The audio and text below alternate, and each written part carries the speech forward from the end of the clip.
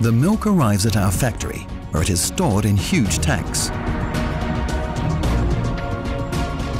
To make our product as healthy as possible for the consumer, we supplement the milk with vitamins and minerals, often in accordance with our clients' wishes.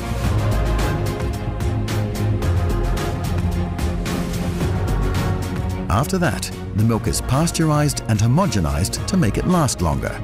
The evaporation process takes place in a vacuum at low temperatures to preserve the taste. This method evaporates at least 80% of the moisture.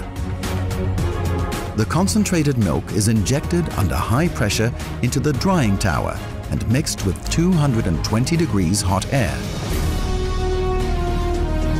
If the powder has to be easily dissolvable in water, soy lecithin is added. This evaporates the remaining moisture,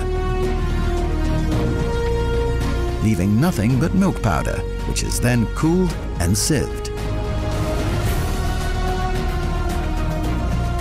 We believe milk can make a valuable contribution to solving the world's food problems, which is why we study how to further enrich our milk powders